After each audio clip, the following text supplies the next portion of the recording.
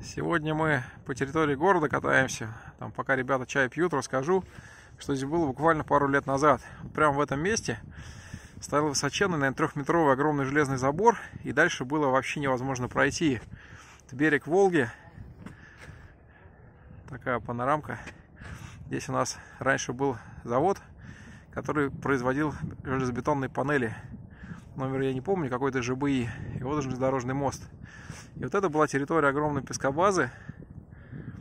На нее было невозможно попасть из-за огромного высокого железного забора.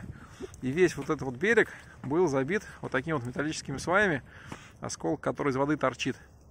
То есть укрепляли берег, невозможно было и наверх вылезти. А сейчас все, все сдали в Чермет. Буквально вот 2-3 года назад я здесь был. Здесь стояли огромные краны. Вот этот весь берег был забит. Видите, насколько уже его размыло за эти 2-3 года все уничтожили, все сдали в Чермет, все продали, территория полностью заброшена, там только в самом конце маленький прием пункт, по-моему, Чермета стоит. И вот Волга начинает разрушать, подмывать вот этот берег. То есть тут уже потери земли, скажем так. Совсем недавно вот эту территорию продавали на Авито. И вот у нас вагон-завод. Вот такой он огромный, он туда далеко-далеко идет. Вот вагончики, видите, делают. Еще ничего не готово, еще только корпуса собраны. Вдалеке Волга Лайф, про которую я много рассказываю, как ее строят.